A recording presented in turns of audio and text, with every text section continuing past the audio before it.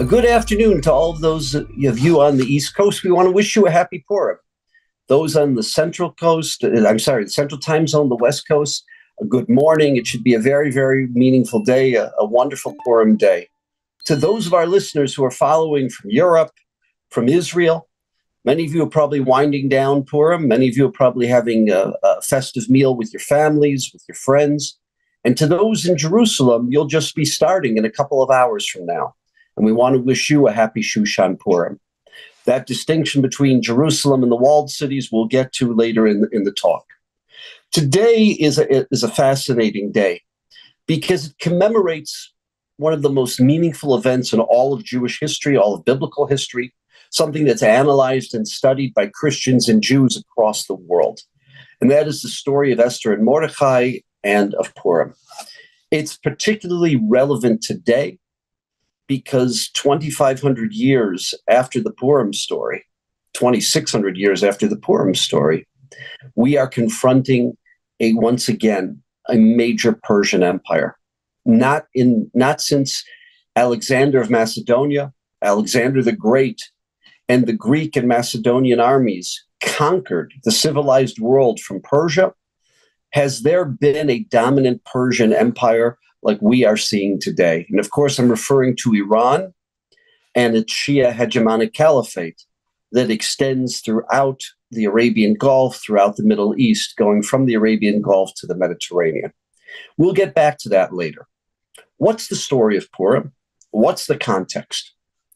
Well, as all of you are familiar, the Jews settled in Israel, first under the leadership of Moses and his chief disciple Joshua, when they came in 40 years after having been liberated from Egyptian slavery, they settled in Israel. And it took time to develop, but under King David, under King Solomon, Israel developed into a major international power, much larger than the landmass of today's modern Israel. But things went, unfortunately, went sour. There was a split in the empire, and you had two Jewish kingdoms. The northern kingdom that entailed 12, 10 of the 12 tribes. That's known as Samaria. Today we use that term Samaria, Shomron. That was the northern part of the kingdom. The southern part of the kingdom, in which David and Solomon had come from, the tribe of Judah, known as Judea. Okay, Judea. That was the southern kingdom. The 10, the 10 northern tribes ultimately were conquered and then taken into captivity and scattered throughout the Assyrian Empire. What's Assyria? Assyria, you and I would say, is today's Turkey, today's Syria, and a, and a piece of today's Iraq. It was a major, major northern kingdom. At that time in history, you had two major empires. You had the Assyrian Empire in the north, Mesopotamia, again, Syria, Turkey, part of today's Iraq. And you had a great southern empire that was known as Mitzrayim. We always translate Mitzrayim as Egypt, that's probably a poor translation. And the reason that's a poor translation is because Mitzrayim was about the northern third of the, the African continent. We're talking about Egypt, Libya, Sudan, all the way going south into Black Africa, all the way going south to the point of Eritrea, Kenya, Uganda. So it was a major empire. It had the whole Nile River basin. What was always in between the, those two major empires? What was the travel route that linked the African continent together with the European and Asian continents. Anyone who's traveling from Europe or Asia into Africa, anyone who's traveling from Africa into Asia or Europe has to go through Israel. It is the linchpin. It was the most precious, most significant piece of real estate in all of antiquities because it was the linchpin that, that really brought together the civilized world. It was a trade route. So you had the two southern tribes, the 10 northern tribes essentially assimilated out. That's why we call them the 10 lost tribes. Not all of them, but the large majority ended up assimilating out to, into various other groups that had been moved throughout the Assyrian Empire. And I just want to clarify what that means. Think about what Joseph Stalin did to the population of the Crimea. He took them and he scattered them throughout the USSR and he transplanted other populations there that would be much more pro Soviet, pro Russian. That is exactly what the Assyrians did with anyone they conquered. That prevented people from rebelling, that prevented people from challenging the empire. And we lost most of those 10 northern tribes. The two southern tribes eventually are conquered by Babylonia. Babylonia is a key term. Today we call it Iraq. Babylonia was, was the majority of today's Iraq, part of today's Turkey. It was a very, very significant empire. And of course, it controlled the um, what we call the Fertile Crescent, the area between the two great rivers, the Euphrates and Tigris rivers. It was very, very significant. It was very fertile. It was, it was quite wealthy. And they conquered the two southern tribes. Initially, they would have preferred to have Judea, meaning the two southern tribes, those Jews, the remaining Jews. That's, by the way, why, do, why did the Germans call us Juden? Why in Hebrew are we known as Yehudim? Why in English are we known as Jews? It all comes from the word Yehuda, which was the, the major of the two southern tribes, Judah and Benjamin. Judah was the major tribe. Most of the people were from Judah. That's why we're called Yehudim. Yes, somebody like myself is a Levi. There are people who are Kohanim, right, descend from Aaron the priest. That those are minorities. People from Benjamin, they're the minority. So we were known as, as Yehudim or Jews. And what happened? The Babylonians would have preferred had we been a vassal state that paid significant taxes to them. It didn't work. We ended up rebelling. Even though our king, our, our executive, and much of the aristocracy, much of the financial leadership of the country was taken into Iraq to a place called Nahar Kvar.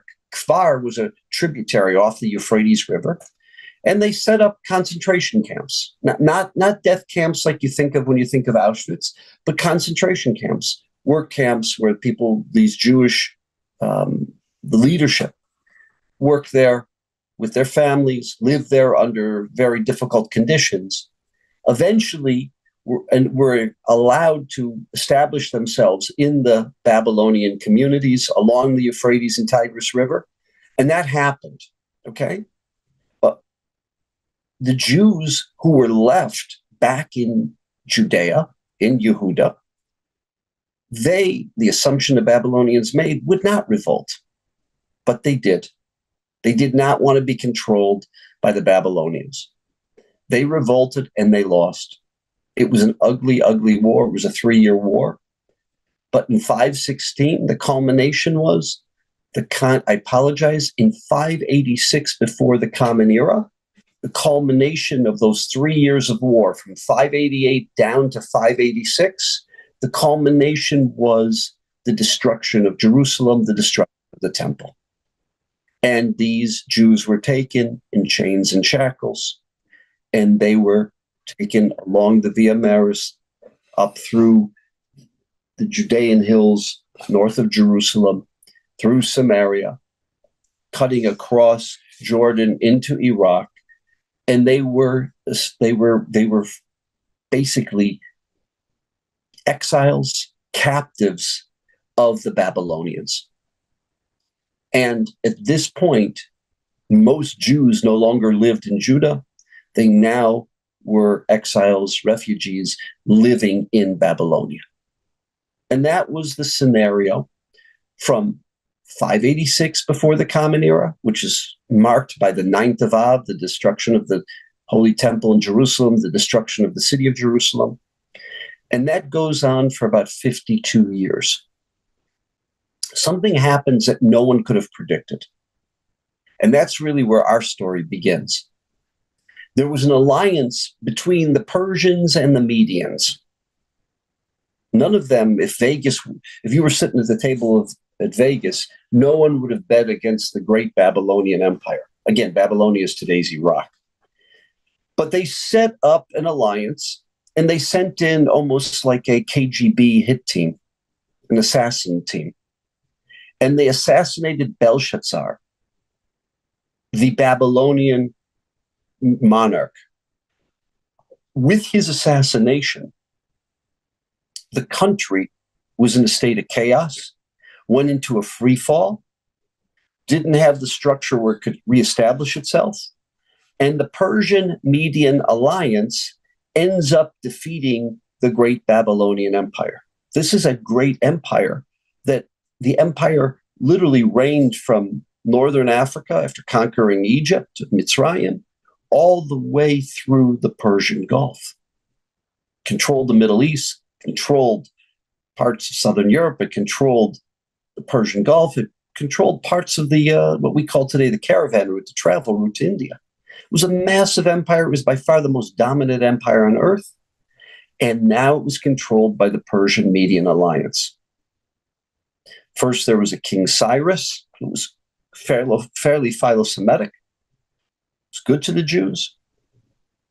Eventually, he's replaced by a man who grew up in the military, very much like the way that Saddam Hussein gained power in Iraq or Gaddafi gained power in Libya. It wasn't someone who came from aristocracy, he was a commoner, but he seized power.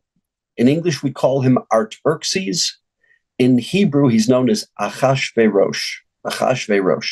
He becomes the monarch of the most powerful empire on earth, the Persian Median Empire, which controls under his rule, it expands all the way from Black Africa to India.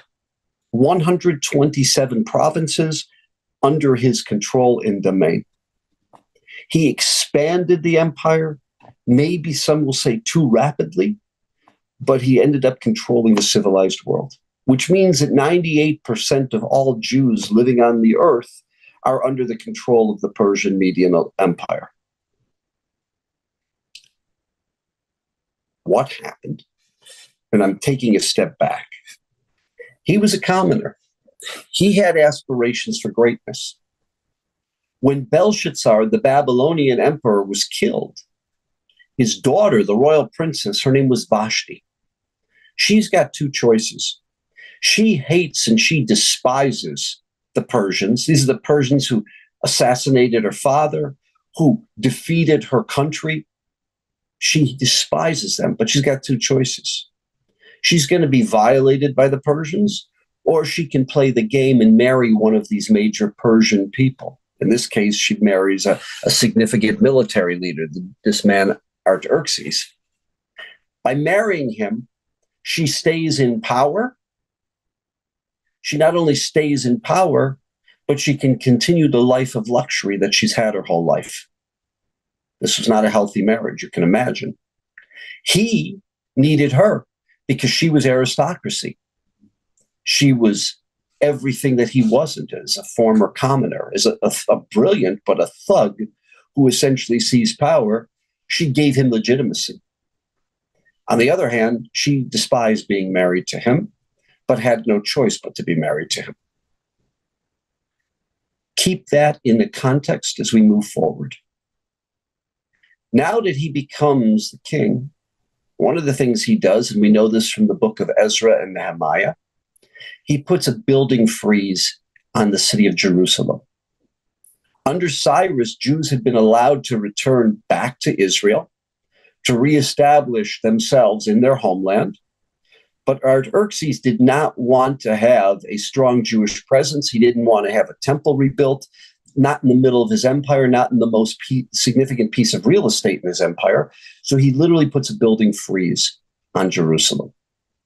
Most of the Jews are living in Persia. Okay, they're living in Persia itself. The capital city, Shushan Habira, what we call Shushan, today is the Iranian city of Hamadan. Okay, and in, in Hamadan, the Jews and the Muslims have traditions going back thousands of years as to the grave of Mordechai and the grave of Esther, who we'll get into. Okay.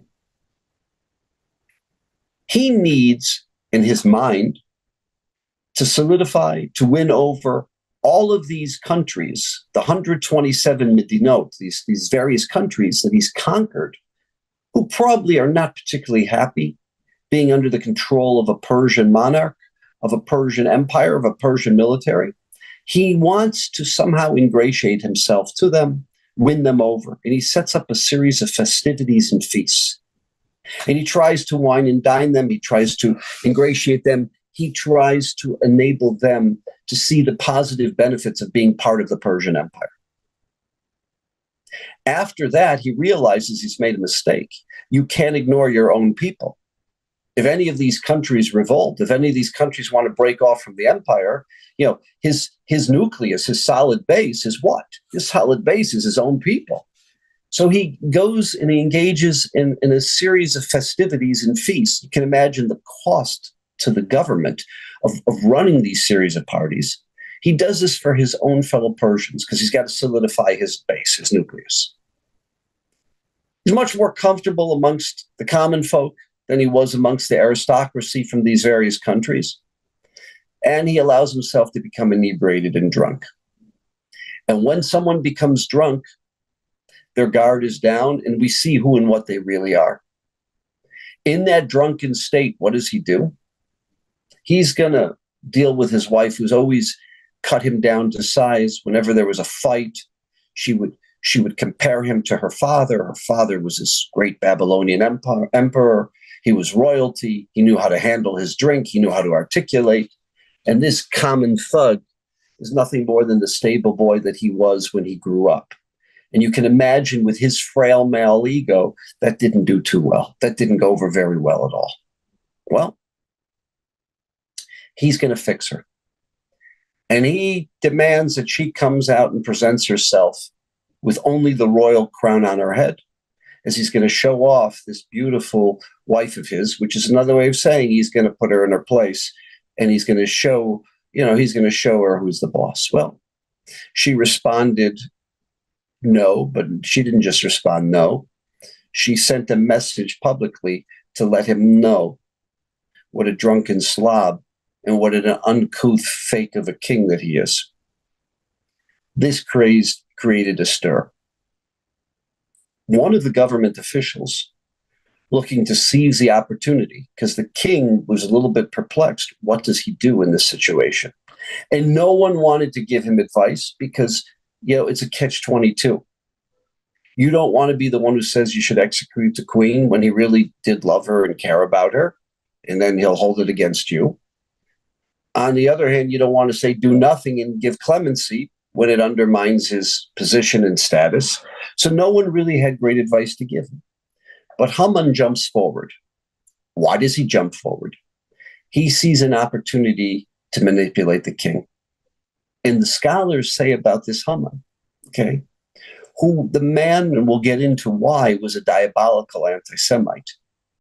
He was incredible when it came to character assassination. Because when he would badmouth someone, the way that he did it, it was never about his personal hatred. It was never about his personal agenda. He always presented himself as a third party observer who own, his only concern was protecting the welfare of the king, having the king's back. It was never about him, even though we know it was always about him. And that's the story of Haman. And he convinces the king that there's going to be a feminist revolution if he doesn't stand up. And the very people who, who are out on the street, the common man, right? Every dirty politician, they're always defending the common man. That's just, that's the MO of every dirty politician. That if you don't stand up, you know, what will happen is Every wife, when Archie Bunker comes home and asks Edith for his beer and Twinkies, every wife will tell him to go stick it and, you know, go jump in the lake. You've got to stand up for the needs of the common man. And off with her head. At this point, in, in the scholars analyze what was Haman's motivation. One of his motivations was what you and I know as the bloodless revolution. If you want to seize power, if you want to become the most powerful man on earth, you don't have a military, you don't have an army. How are you going to do it? You marry into power. This was an opportunity for his daughter to become the next queen of the civilized world, the next queen of the Persian Median Empire. And the other members of the royal cabinet understood this. And they understood, and if I can use a modern analogy, what Joseph Stalin did to every member of the Politburo, what Joseph Stalin did to every member of, of uh, Vladimir Lenin's disciples, killing them off so he could seize power. Look, Leonid, Leonid Trotsky actually fled all the way from Russia to Mexico And it was finally the third assassination attempt that Joseph Stalin's goons killed Trotsky. They saw Haman doing this to them. As he was seizing power and in, in, in, jumping ahead of them in, in terms of his role in running the government, his positioning, they understood that if they don't get a wife who is going to be someone that can keep this very, very frail, insecure king, this frail, insecure king who needs approbation, who needs to be loved, who needs to be appreciated, who needs other people's accolades, they're going to have a real problem. So, what do they do? In the context of the king searching for a new queen, they literally abducted all young women. They took all young women to the palace, they abducted them, they prepared them to spend a night with the king, to, to eat with the king, to dine with the king, to sleep with the king. And this young woman, Esther, a young Jewish woman who was raised as an orphan, her, her father had died before her birth after conception. Her mother died in childbirth. She happened to be raised by her first cousin, by Mordechai. The world didn't know who she was. You know, she was raised in a very humble way, but she was raised by a, a, an outstanding man, her first cousin. And she is chosen to be the next queen. Why was this young Jewish woman chosen? Because the other members of the royal cabinet incredibly, incredibly threatened and scared that Haman would do to them what Stalin did to the members of the Politburo. Said, We've got to do collusion. We've got to choose a woman that every one of us, if we support her, has a chance of being the next queen over Haman's daughter. Why'd they like Esther? Because Esther was everything that Vashti wasn't. But at the same time, she was everything that Vashti was. What did Vashti have going for her? She was bright, she was stimulating, she was challenging, she was engaging. The problem is, Vashti had a chip on her shoulder, and she would always put him down and cut him at the knees. Esther had the brains, the brilliance, the stimulation of Vashti. But the difference was, Esther, on the other hand, Esther knew how to massage his frail ego. Wasn't going to threaten him, wasn't going to cut him down, wasn't going to put him in this place. And with their encouragement, the king was enamored with Esther. And she is chosen to be the next queen. Skip ahead. Haman, who now has literally jumped over all of the other ministers, is in the prime minister role, wears icons on his bosom and people were obligated to, to bow down, to defer to the Persian god that he would wear, which subconsciously they're bowing down to him. It was a way for him to, to gain power over people. In the Jew Mordechai, Esther's first cousin, was a great scholar who's one of the refugees, one of the Babylon from when the Babylonians took the leadership out of Israel. He refuses to bow down. He won't defer to a pagan god. And Haman obsesses not just over Mordecai, Haman obsesses over Mordecai and everything he stands for.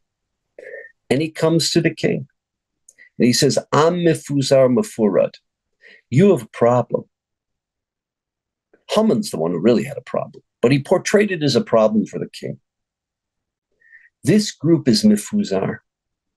They're a cancer that has metastasized it's not like you can control them in one little area. They live on the Tigris, they live on cities in the Euphrates, they live here in what is today's Iran, right? In places like Hamadan and Tehran. They're in North Africa, they're in the Middle East. Do you understand? They don't observe the way the Persians observe. They don't defer in respect to other religions. They don't marry our women, so they become their own clan, their own unique, distinct clan. And what do they do? They're there to undermine you. When when it's their holidays, they don't produce for the economy. When it's our holidays, they don't show us the respect by observing those holidays. They're a threat. They're a threat that is, is an existential, mortal threat to your survival as the king.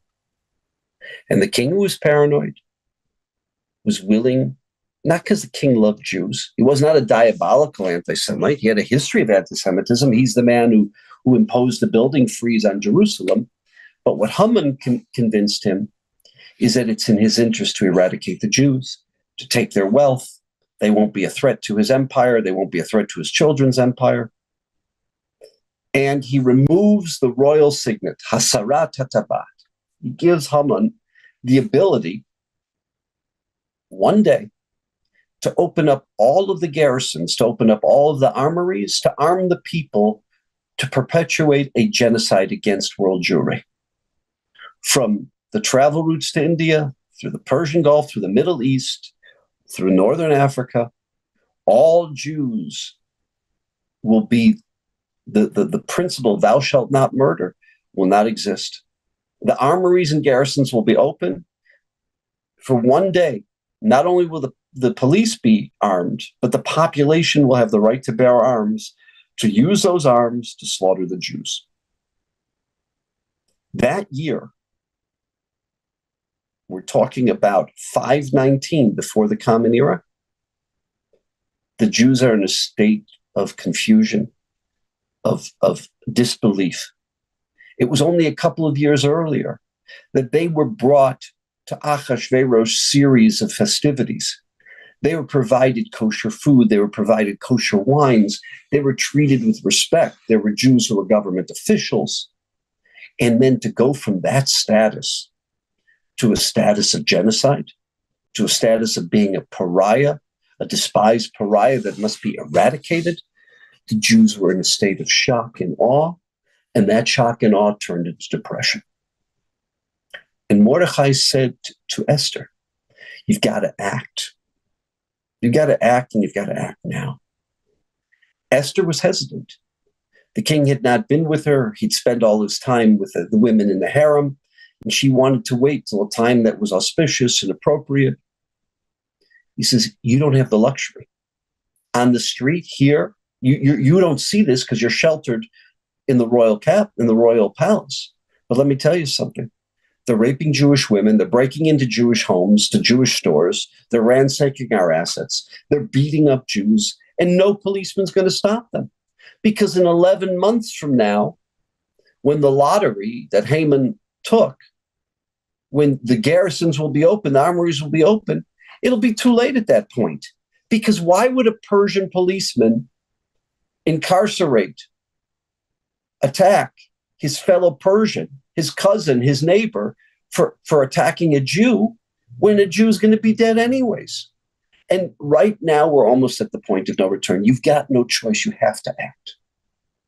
So she says to Mordechai, Listen, for the next three days, have the Jews of Shushan fast. I'm going to fast. Because Mordechai said, Look, I can tell you this you've got to act, you can't delay. You've got to act. You've got to act now.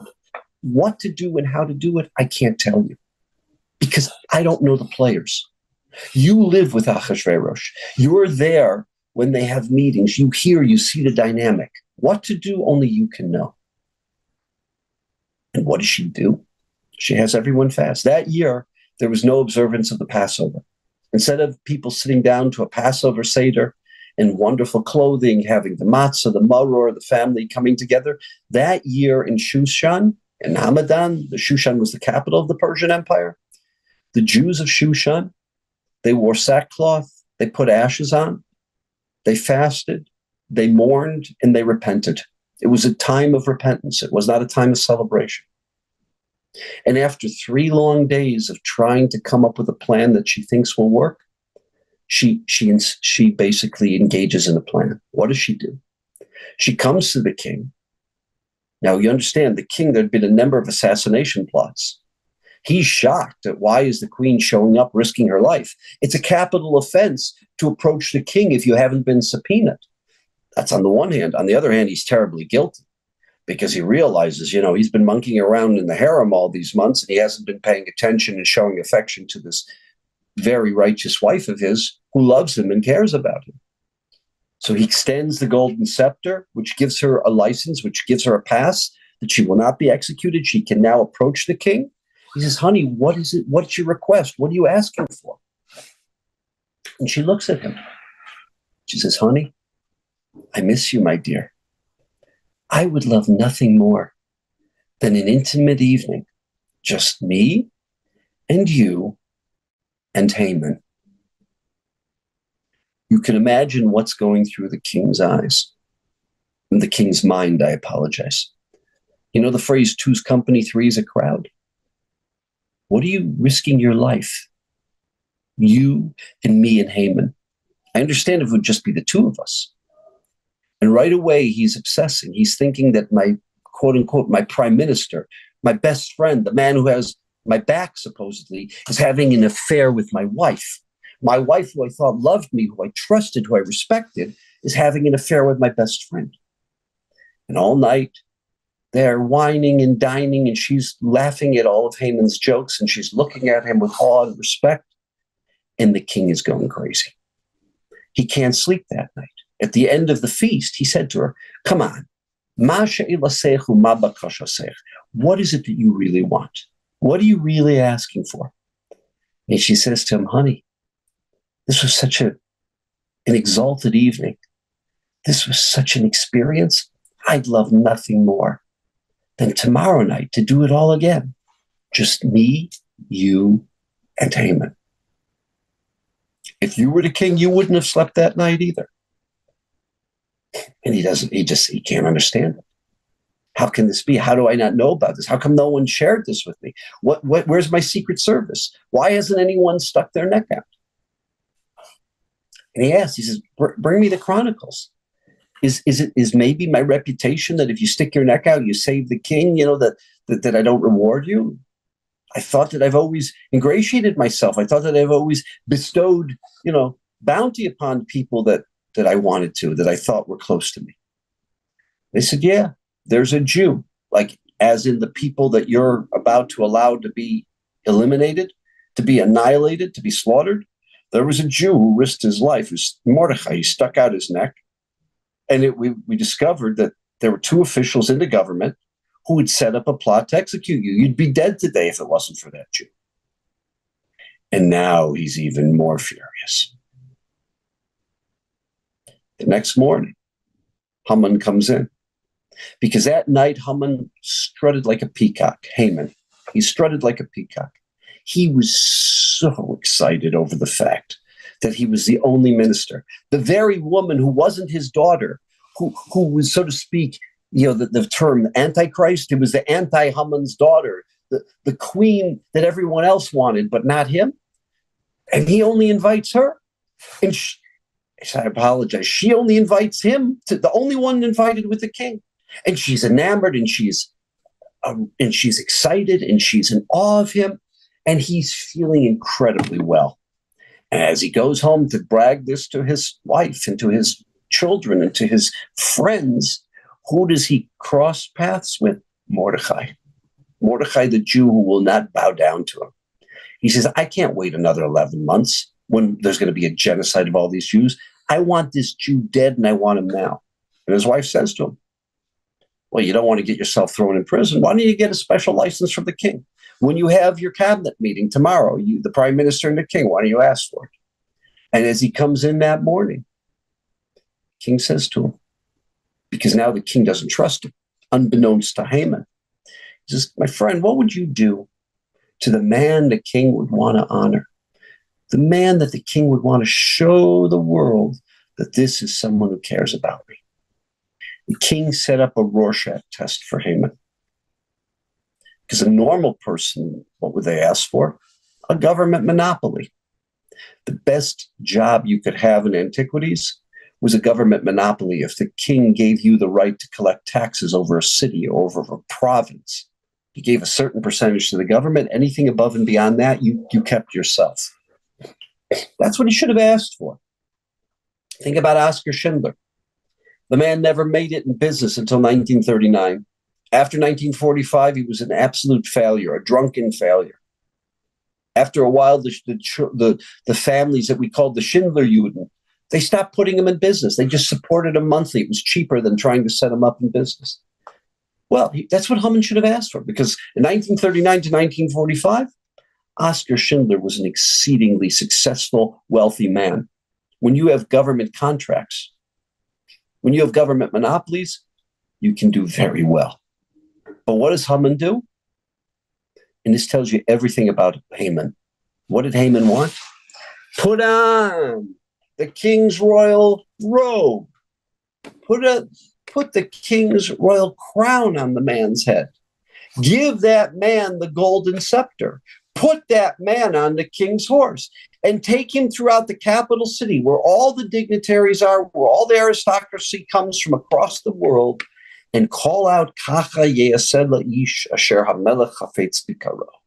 This is the man. This is what we do for the man that the king wants to honor. The king says to himself, I'm dead. This guy wants my throne. Haman gave it away. He showed what is going on in his subconscious. No rational person that was not filled with an inflated ego that wanted to take over the, the role of the king, wanted to become the most powerful man on earth, would ever ask, answer a question that way. The king sent to Secret Service. What does the king do? I want you to do everything. I love it. I love it. And you know what? Don't leave out one detail. Haman think it, think, thinks that the king is going to do this for him. I want you to do that for Mordecai the Jew. That's right, the Jew. And he tells the Secret Service, don't let this guy get out of your sight. And Haman has to bring Mordecai all around the capital city, calling out. He's humiliated. After the worst day in his life, they don't even allow him to shower, to shave, to change. No deodorant, nothing. They bring him for the second second feast. And they're sitting there with this incredible wines, foods, service. And they're having supposedly the time of their life. The king is choking on his food. He can't stand it. But Esther is hanging on to every word of Haman, and the king is getting more and more furious. The king says, Okay, we've played this charade for the last two days. What do you really want? Ma Come on. Come on. What do you really want? And when she answers that question at that time, two things happen. What does she say? Nafshi b'she'elasi v'ami b'vakashasi. I'm begging for my life. I want to live. I just don't want to be executed. And I'm begging for the lives of my people. If we had been sold into slavery, at least there's benefit. If we would be your public servants, you would get benefit. But this sick, diabolical man all he wants to do is undermine you. He wants to undermine anyone who's around you. He, he was the one that led to the death of your first wife. Now he wants to take away your second wife. The very people who are your most loyal servants, the people who risk their lives to save your life, these are the people he wants to kill. The king is filled with rage, rage, and he explodes, runs out of out into the garden two things are going on in the mind of the king. Because the king had questioned his own ability to understand people, to know people. The two people he thought were the closest to him, the two people he thought were, were, were the ones that cared about him the most. Now he assumed as having an affair with each other, wanting to assassinate him. What does he discover? He discovers that he was he was really correct. He was really right about his wife. She does care about him. She does love him. He hasn't lost any ability to understand, to, to appreciate relationships. But at the same time, rage that this guy has played him, manipulated him, strung him along and played him like a fiddle for his own purposes, always under the guise of, oh, I'm just looking after the king. I want to make sure that the king is okay and protected always under that guise. And what does he do? He has Haman, because one of the, the members of actually the commentaries believe that it was one of Mem- uh, Haman's, you know, Persian Muslim Brotherhood party, the, the Persian Nazi party that Haman led. One of those people saw that things were going the wrong way and he jumped ship. His name was Charvona. He says, Yeah, he says, Your Majesty, says, just take a look at that massive erection there, taller than any of the Persian temples, taller than, than your palace. He set up an erection of a gallows where the Jew who tried to save your life is going to swing by his broken neck. And, and the king is furious. He says, I want this. He's dead. He's dead now. Take him now and let him swing from the very gallows. And Haman was killed. There's a problem, though. What about the genocide decree? What about the decree that had been translated into every language in the empire, written in every script in the empire, that said in 11 months from now, the garrisons and the armories are going to be open, and the population can arm themselves and use those arms to slaughter the Jews? So the king never rescinds a decree because it would make him look like he was wrong. What he did do was two things. He appointed Mordechai his new prime minister, and he allowed Mordechai and Esther to come up with new legislation that would save the Jews. And they came up with a legislation that said the following On that very day, the 13th of Adar, the Jews have the ability and the right to do what? To arm themselves from the very same garrisons. And we're encouraging all police, all military, those who normally do have arms, who represent the government, to stand by the Jews and allow the Jews to defend themselves. Now, before we get to that, which is 11 months down the road, keep in mind the following. This young woman, I don't know how old Esther was, but this young woman who didn't have a chance to sit and get advice and talk it out with others, worked out a system that ultimately saved the Jews from genocide. She understood that who Haman was. You can throw, trust him as far as you can throw him. You got to keep him in your sight. She understood that the king was fickle, that even if she could convince the king, she had to have Haman there because he would get the king to flip back. She wanted to make sure that the Jews were not going to rely on her. Let it be known, you know, that, that while the Jews are going to suffer genocide, she's sitting there wining and dining with the king and Haman. They had no idea she was Jewish, so she didn't want, when she risked her life, their guard's going to be up. Why now is she all of a sudden risking her life? So she, she did something that played all of the angles and played all of the psyche and all of the players. She was brilliant. She was brilliant, incredibly psychologically astute. The king, who was an anti Semite, not a diabolical anti Semite, but an anti Semite, ended up flipping and understanding that the Jews were not his problem. The Jews were not a threat, but the Jews were just the opposite sincerely loyal and patriotic. And we'll get to the end of the story, but I want to share with you. Three years after this event, the king died. His son Darius. Till this day, Iranian Jews, Persian Jews, name their children Dariush in Persian, Dariush or Darius in English, in Hebrew, Daryavesh, after this man. Because the next Persian Empire, who led the Persian Median Empire, rescinded the building decree and commanded, under the guidance of a prime minister, Mordechai, a Jewish prime minister, under the guidance of Esther, who was the queen, you know, his, his father's queen, and allowed the Jews to rebuild the temple and rebuild the city of Jerusalem that had been destroyed by the Babylonians. And this began a movement that took time, very much like what we've seen in the last 75 years. But it began a movement of the Jews returning to their ancestral homeland, ultimately reestablishing themselves with a very good relationship with the Persian Empire, being part of the greater Persian Empire, paying taxes, being supported by the Persian Empire, and rebuilding the temple reestablishing Jewish autonomy there, reestablishing Jewish education, Jewish values, Jewish charity institutions, Jewish chesed institutions.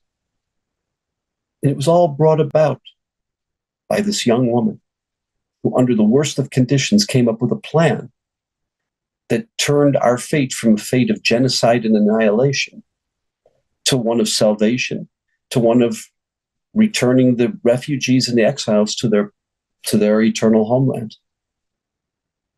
So what happened? On that day, the 13th of Adar, despite the fact that the Jews had the right to defend themselves, that the military, that the police were working in collusion because of their fear of Mordechai and because of their respect for Mordechai, to defend the Jews, there were still 70, 75,000 people throughout the empire who attempted to attack the Jews, to kill Jews, who lost their lives attempting to slaughter Jews. The whole core, the whole nucleus of this anti-Semitic, of what we'll call the, you know, the, the, the Persian Nazi party or the Persian Muslim Brotherhood party, was in was in Shushan. They were Haman's people, Haman's sons, his friends, his people. They were smart. They went underground. They did what Sinwar's doing. They're hiding in the tunnels surrounded by, by, by the captives. They're doing what Muhammad Deif is doing right now. They went underground. And she comes to him at the end of that day and she asks for the following. She says, My fear is that the real cause of this trouble they'll wait. They'll wait till the time is right. They might wait for the next administration, and they'll come back and they'll come back with a vengeance. Same point that Israel's making about Rafah.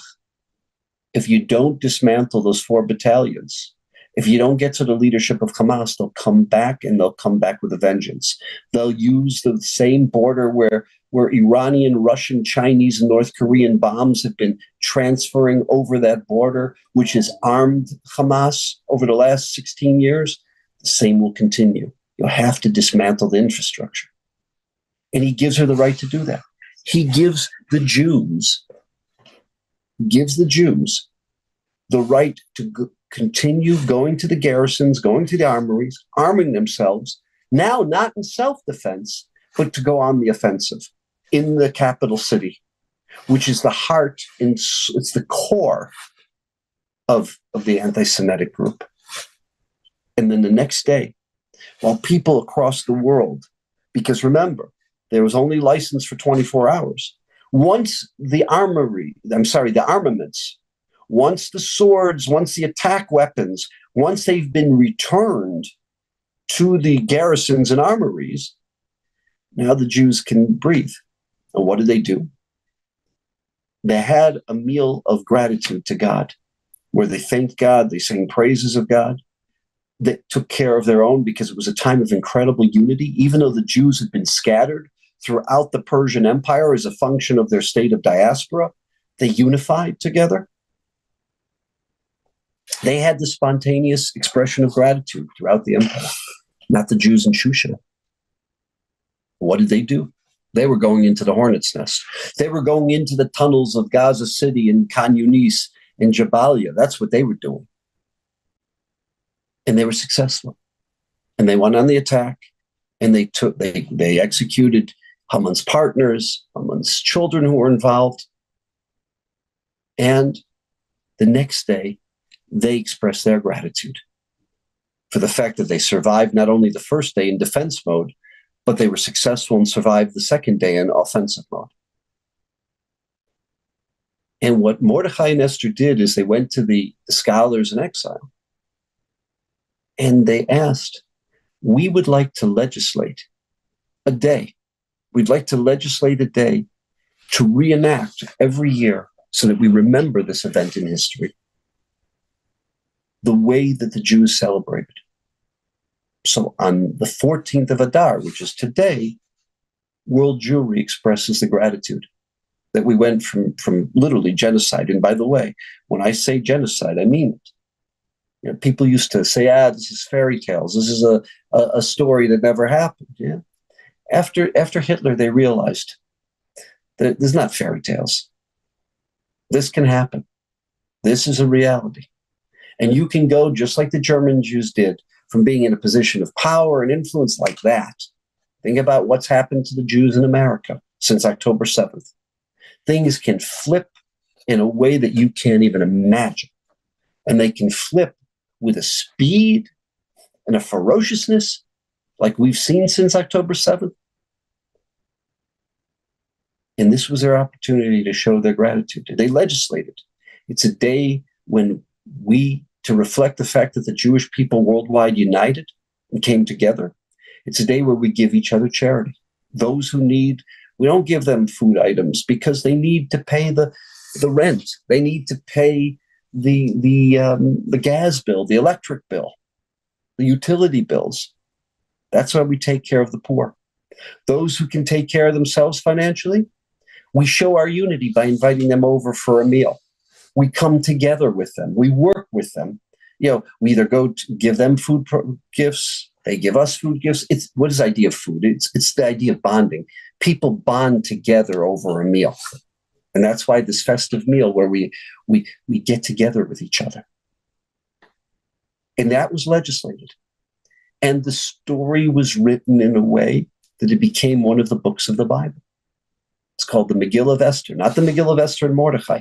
Mordechai is the one who told her, You've got to act. We don't have the time to wait.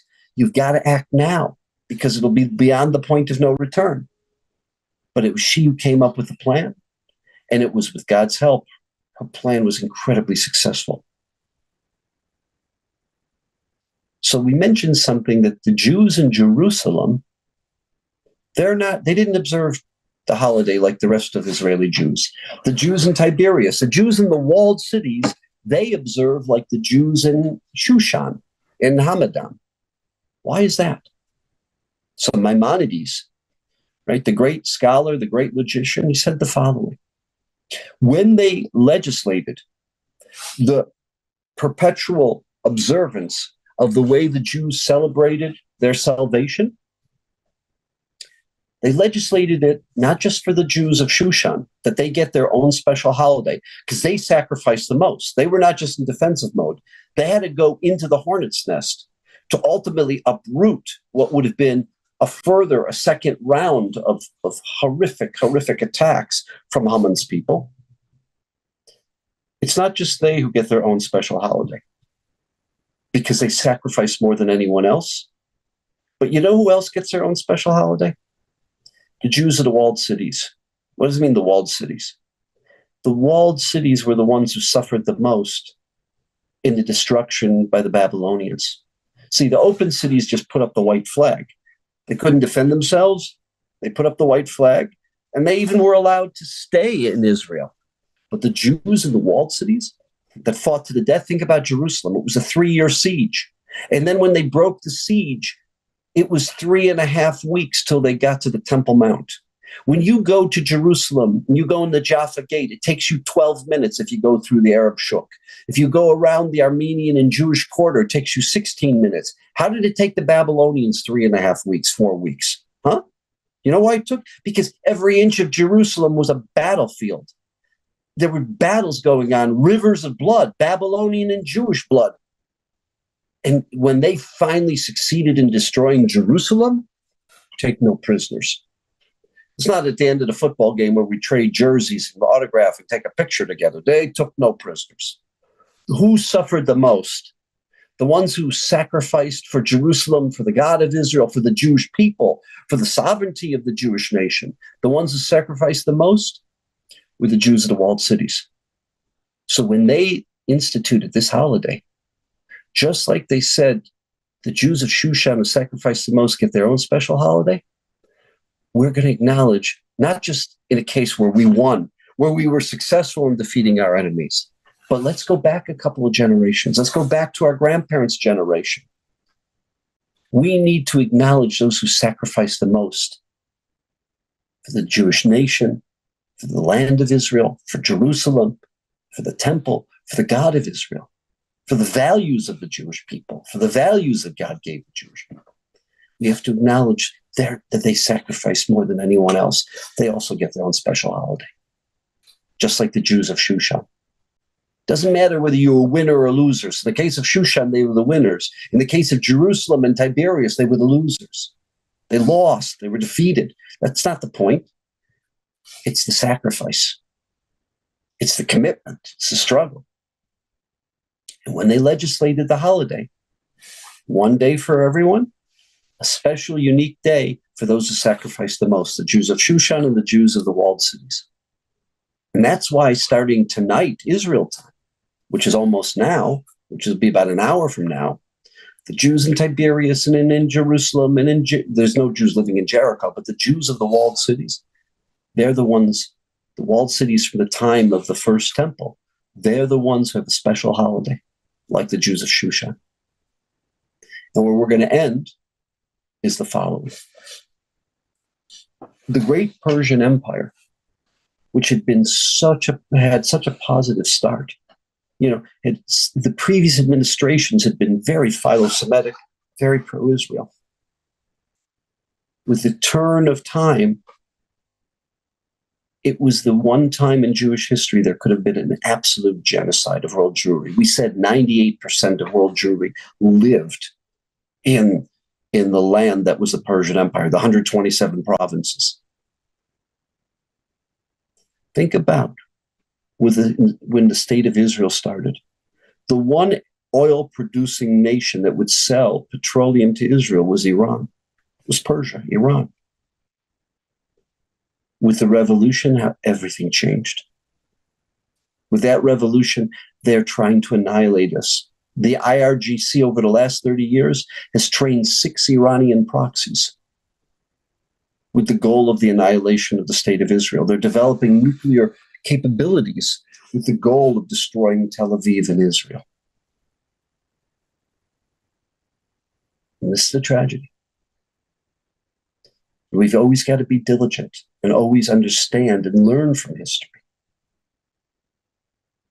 And we pray and we yearn that what happened to Haman and to his whole call it entourage or his whole system of trying to perpetuate a genocide, where they would literally take the, the, the, the weapons of destruction, the military weapons, and use it against world Jewry. In the end, it failed. And we hope and we yearn that the Supreme Ayatollah the imams, the IRGC, everything that they've been working for, towards, everything they've been building towards over the last 30 some years, that ultimately fails. It ultimately fails. Not just because of the tragedy of what it would mean to Israel and the Jewish world, but what the tragedy that would mean for humanity. Unfortunately, the names have changed. So from Haman, it's now the Ayatollah. From, from Haman and his crew, it's now the IRGC and Hezbollah. But we're facing again a maniacal, genocidal Shia caliphate that is bent upon our annihilation. And those are not just words. They say it, they mean it, they've invested billions and billions of dollars towards this goal. And we just yearn, pray, and try to defend ourselves. And that's the role of the IDF, is to defend Israel, to, not just Israel, not just world Jewry, but to defend the world against Iran and its six proxies, Persia and its six proxies, and their goal of obtaining a Shia caliphate that dominates the world thank you. I want to wish everyone a very meaningful, very happy Purim. It's a day when we can look back after 2,600 years. The Jewish people are still alive, they're still thriving, they're rebuilding in the land of Israel, in their ancestral homeland. And pray that that continues. Thank you very much.